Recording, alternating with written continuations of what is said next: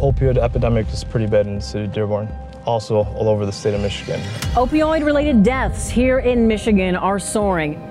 The counties with the highest reported number of deaths are Wayne County.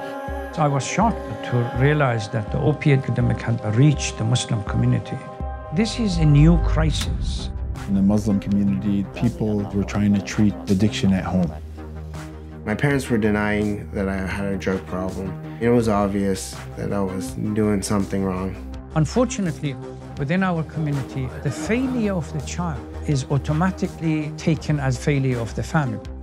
Drug addiction has destroyed my family. Here, every parent's in denial, like the amount of ODs that's been going on since 2016. We just got a spike in calls for narcotic overdoses, mainly in the Muslim community. We might have a family tell us it might be a diabetic issue, when 100% it's a drug overdose. These are the last two I will ever allow to put in my body ever again. The biggest anger with the issue was people pretending it wasn't an issue at all. There are many Muslims that never seek help and then ultimately end up dying because of the shame and guilt.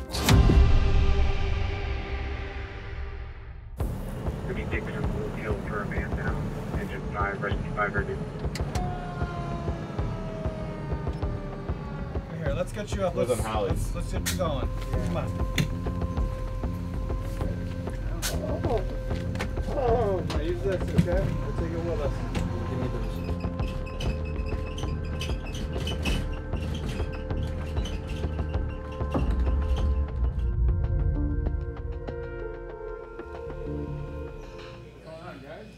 My name is Rabi Darwish. I'm a grateful recovering addict. I also am a part of the Safe Substance Abuse Coalition. I receive about two to 10 phone calls a day. It was very surprising to me to find out that I wasn't alone in the Muslim community struggling with drug addiction because the Muslim community did a really good job of hiding. The opioid epidemic affected Dearborn greatly. Crime rate went up, uh, the death rate went up. The guilt and the stigma has delayed a lot of people coming out to seek help. And that's very dangerous.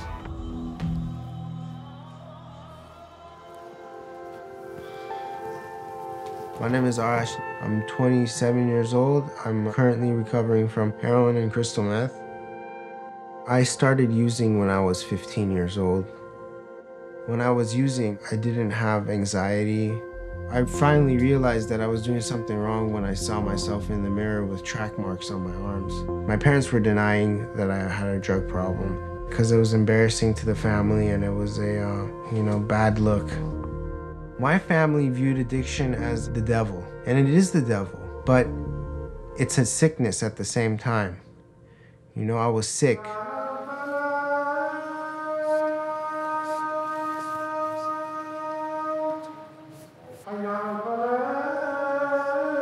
My parents sent me to Iran because they felt like they had no more options. I was in a rehab facility there where they don't give you very much food. They beat people a lot. They don't give you medications. It was like a jail. I was very traumatized by that experience and I did not stay clean afterwards. It happens a lot in the community that they send their children to the home country and it usually doesn't work. Last year was a terrible year. We lost about eight to nine from this community alone. Islam prohibits any intoxication. What led me to realize that we have a crisis was suddenly these families coming in and bringing a son or a daughter in a totally disoriented state and expecting me to recite a prayer and fix things. With Middle Eastern culture, the Imam is the one that they expect to deal with all the crises. The church or the synagogue has a number of peripheral institutions that work with it. The shame is something that comes from the culture that religion plays a role in. Your daughters want to get married, nobody would come forward. They want to get a job, probably it has ramification as far as their job. In some cases, families had to literally move the city and go somewhere else and start fresh because of one child becoming an addict. For many years, we were somehow excluded from it. If the Caucasian society took them 20 years to, to get to this, we are starting a little bit late. The safe house is a three quarter house, it's sober living. The only way to get into the house is by coming from a, a treatment center. Right now, we have about seven living in the house. Five of the seven are Muslim. Usually, the Muslims that are entering treatment are basically at the end of the road. When Arash came to us, he was going through withdrawal. So, you know, gotta wake up. You really couldn't say much to him. He would uh, have one word responses. We had our work cut out for us. And I remember speaking to Arash, and I said, Look, man, uh, you're gonna die if, if you don't really get this help. This young man really surrendered, and he did exactly what we asked of him. It's truly a walking miracle. Chrissy, it's Rabi Darwish. How are you? I need some help. How soon is he going to want to come in? I do have a little bit of a wait. We're kind of full. Okay, but uh, as soon as possible, please. Okay, what's he using? Um, it's uh, opiates. Call me in the morning and we'll see what we got for um, Hassan, okay? All right, thank you. Basically, I was just trying to help uh, Hassan get into uh, treatment as quickly as possible. The longer we wait, the less likely he might go to treatment. They said that you're gonna have to wait at least 24 to 48 hours. You think you can hold off till then? I've been ready for a while.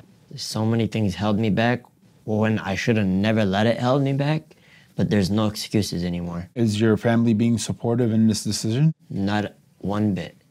Really? Yep, not one bit. Okay. You're gonna have my support, that's for sure. There's meetings here five days a week, so we have your back. Yeah, it's gonna be all right.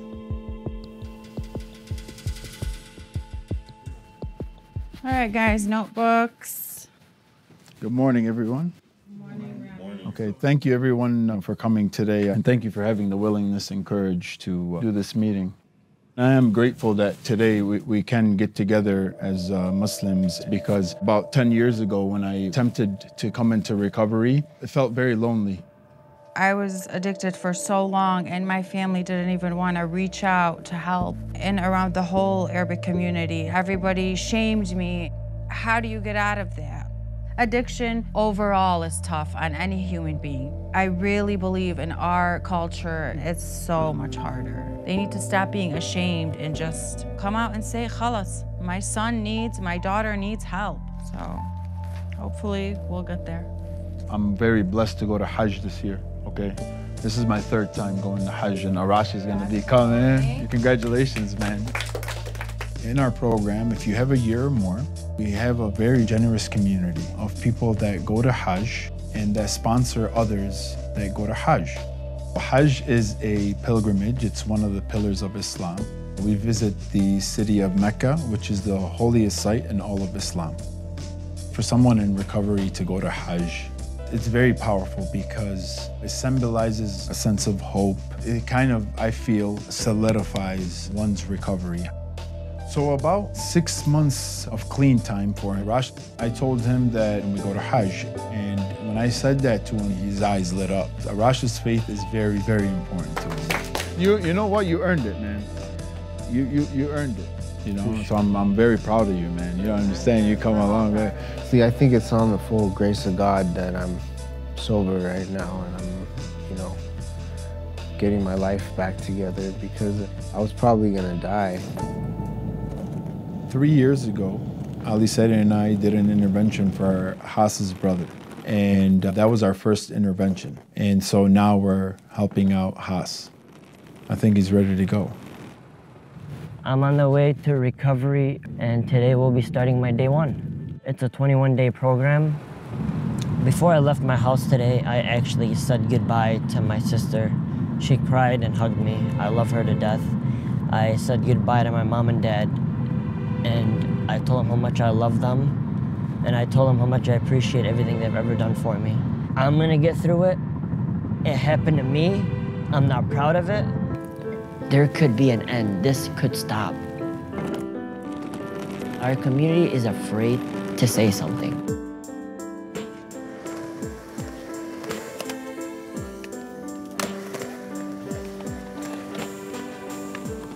How are you? What are you doing? I'm uh, at the skate park.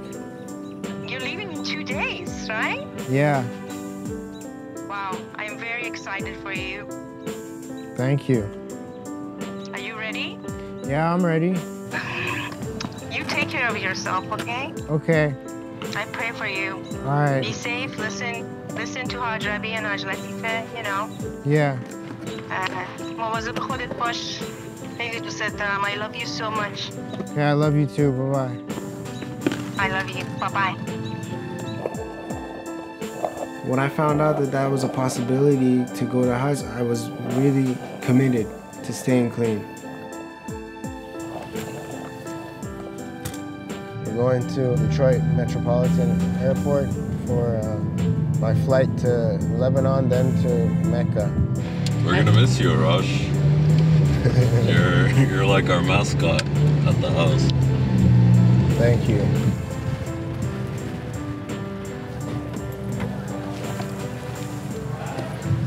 All right, man. All right. Be safe out there. Bring me back something cool. All right, I got you. I never imagined I would be free from addiction. This trip is important to me because it's part of a, a new beginning, a new life, a new chapter. I've chosen to share my story and be seen because I want people to get help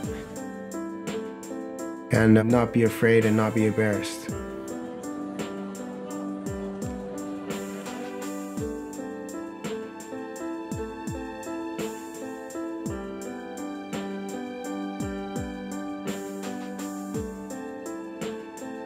We can't eat this back home because it's non-halal. Thank Boom. you so much. You're welcome, brother.